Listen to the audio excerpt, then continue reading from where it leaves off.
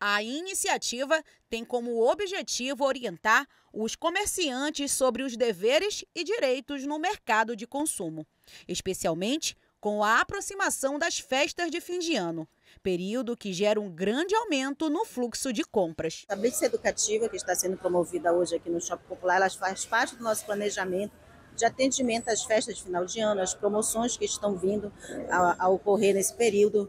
Então, o PROCON fez um planejamento é, onde a gente está fazendo um atendimento através de palestras a essas empresas, para que possam preparar essas empresas para receber esse consumidor, para fazer as suas compras durante o final de ano. As palestras estão ocorrendo desde o dia 4, ainda estão ocorrendo, né, e hoje é a Blitz. Né. Vale ressaltar que a Blitz não para no shopping popular, nós vamos escolher outros, outros ramos para que a gente possa estar atuando de uma forma mais efetiva trazendo para o consumidor, trazendo essas empresas, se deslocando até as empresas para que possamos estar fazendo esse trabalho, para que elas possam estar cientes do seu dever quanto fornecedor de produtos e serviços e o consumidor não possa vir a ser lesado.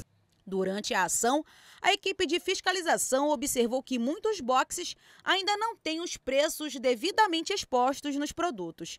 Essa falta de precificação pode causar mal-estar nos consumidores e até confusões, segundo o PROCON. Uma situação que a instituição quer evitar.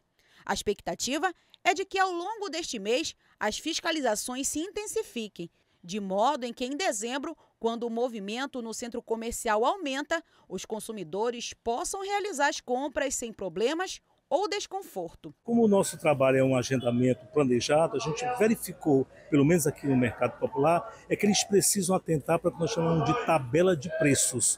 A gente percebe que a grande maioria não coloca preços nos seus produtos. E isso faz com que haja todo um uma confusão no momento da busca. É preciso também, a gente identificou que as formas de pagamento, o cartãozinho, mesmo sendo pequeno, se ele muda, se tem acréscimo ou não, porque aí o indivíduo pega um, um produto de 20 reais, na hora de pagar é R$23,90, ele não vai querer. Isso causa um constrangimento. Então a gente precisa que haja informação, e é um direito, desde que esteja informado, para que haja essa boa prática comercial. Durante a ação do PROCON, também foram distribuídos exemplares do Código de Defesa do Consumidor aos comerciantes. Nós temos uma lei que obriga todo estabelecimento a ter um exemplar do Código de Defesa do Consumidor. Então, o que, é que o PROCON está fazendo durante essas ações? Disponibilizando esse exemplar do Código de Defesa do Consumidor para que essa empresa já tenha esse acesso, já mantenha esse, esse exemplar né, de forma que esse consumidor